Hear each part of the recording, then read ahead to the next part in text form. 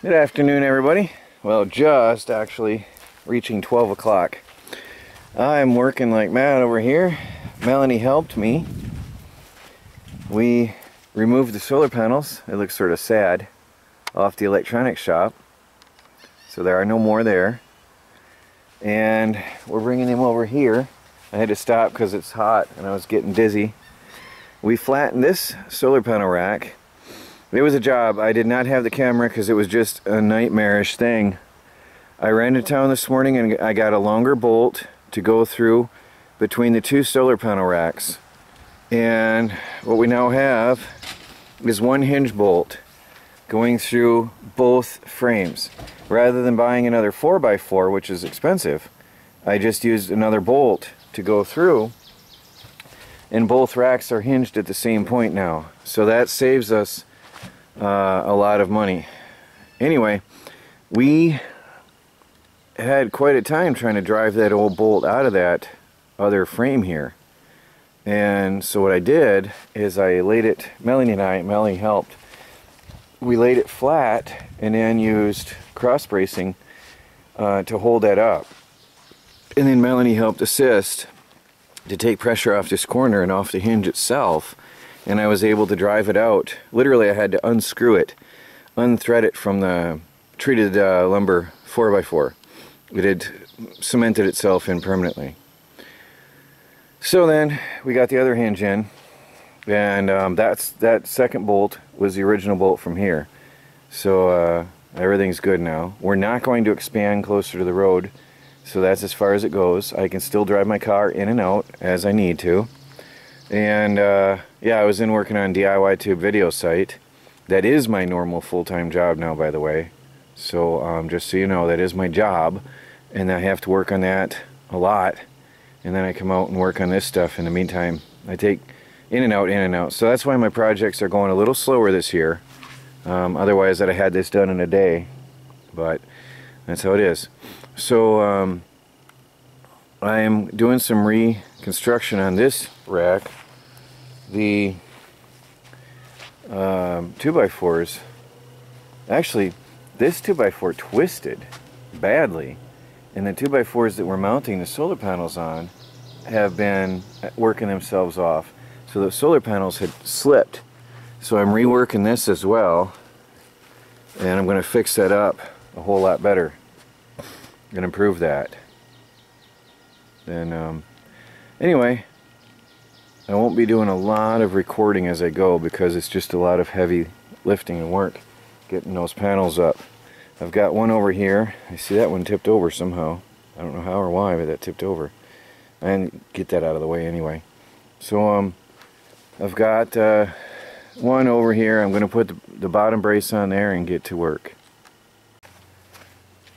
Now, I've got two panels sitting on here uh, tied with two screws.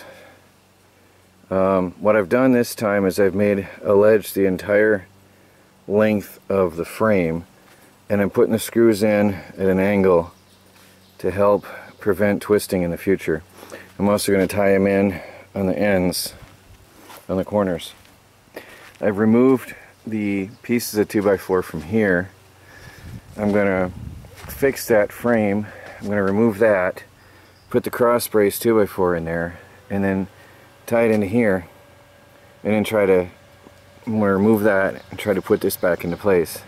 Hopefully that'll work over right. And then I can push those solar panels back in place and then reattach them. But they've held up for quite a while and they made it so far. And uh, I have to readjust I I'm not taking apart now. When I had this on the ground I had it all measured out and laid out right and when I put it up we put it on upside down. It is where it is. I have to move that board and put it down here. Um, I am not taking the frame off to turn it around. Um, we had I had it laid out right but I don't know what happened. When we put it up we put it on upside down so it is yeah whatever it's no big deal. Uh, remove four screws move that board down in the middle and then I can put on the other two solar panels and then um, yeah well then I have to rewire it all but we'll have uh, um, 1600 watts going on right here side by side and a very impressive looking structure pretty soon. Charged my tools right here. No way that's discharged already. That's a fast charger. I got it directly to the inverter. So we're running that right off the extra 200 uh, watt solar panel that I have sitting on the ground up front until I get the rest of these wired back up. So I'm going to pop another battery in and go in for lunch. Melanie just called me in. I've got this board on here.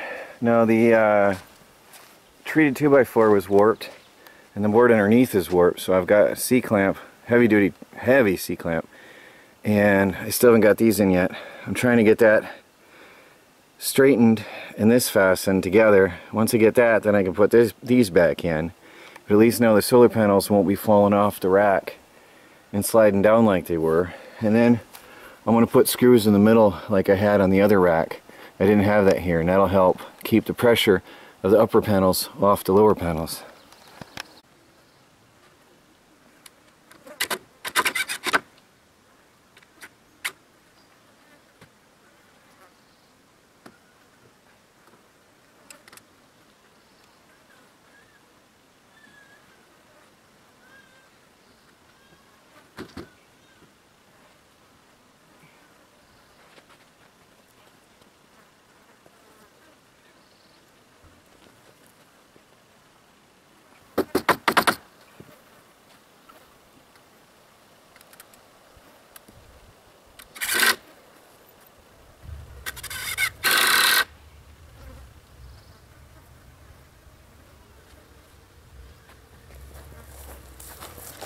Well, I got it straight.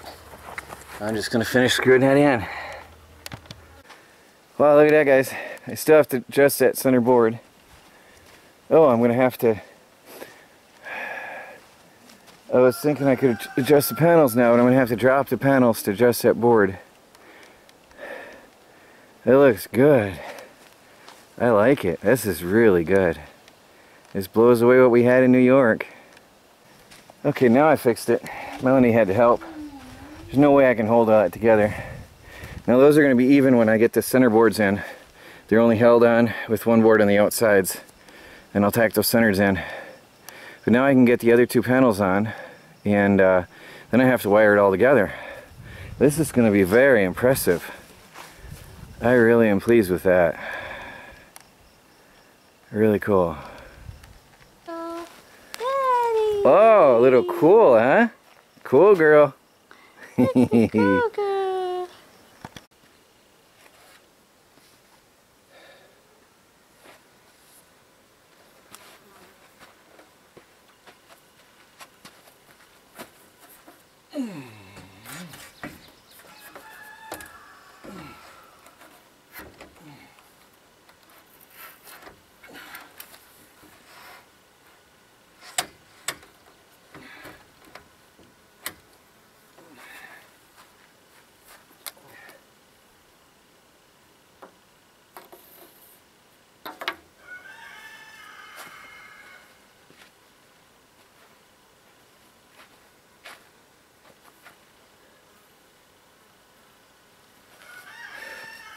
I want to screw that one in and we'll be done. I had to level it again. Uh, to get them on I had to flatten that and then I can secure the panels in place and then bring it back up. But it's going to look really good I think. Wow, that's an impressive structure guys. I like it. I really like it. Now you'll notice the two on the left are taller than the two on the right.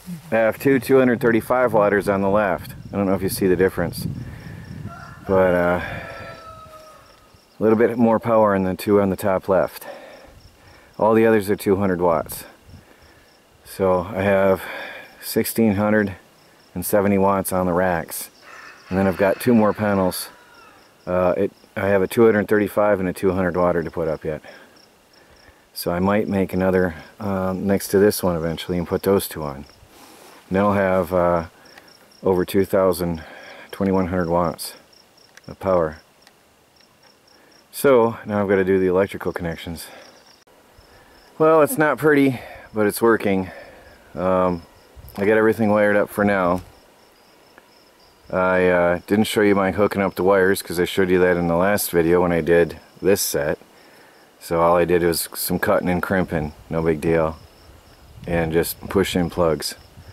Um, the sun is higher in the sky, so my two new panels are shaded. And I'm going to have to go higher up on that tree, unfortunately. It's not cool.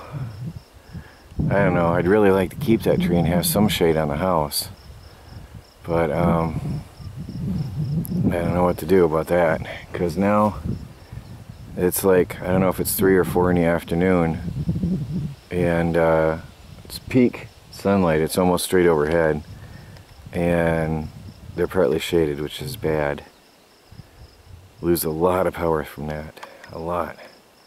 But there it is. I'm to go in for a while and take a break. It's hot out. It was 86 degrees when I checked last. Hi, Melanie. So what are we doing here? You shy? You went shy on me all of a sudden? Yes. Okay. So Melanie is making blueberry muffins. Home picked blueberries from our own harvest last year. And homemade muffins using the GoSun uh, Sport solar oven since it's uh, been a sunny day. So pretty cool. We're using free energy to cook with to make muffins. The fridge just kicked on a little bit ago and this is mind-blowing. I cannot believe it. I have a Kill A Watt meter here. Um, sadly it's upside down because the outlet is upside down. So let me turn you around. This is mind-blowing. This is, uh, where are we? 89 watts. Just 90 watts of power this is using at this time. I can't believe it. 90 watts of power. That's nothing. I think that's watts. Let me see. Um, yes, it says watts. You can probably see it better than I can because I'm trying to turn my head upside down. It says 90 watts. I can't believe it. Um, 0.7, 0.77 amps. Unbelievably cheap. Wow. This is exciting. This thing burns next to nothing. Um, wow. Now it's up to 120 I'm going to keep an eye on it. it. Went up to 122 watt. No, that's volts. Confused myself. 0.9 uh, PF. I don't know what PF is. 60 hertz. It's awkward upside down. VA. 91 watts. Unbelievable. Well, I put the Kill A Watt meter on there at 6:30 in the afternoon, and I'm writing that down in my uh, my uh, book and then I'll keep an eye on this how much it uses in the coming days how many kilowatts uh, kilowatt hours it uses a day to run this thing just for info everybody the meter is not moving. Our power meter is stopped. Ha ha ha, I like it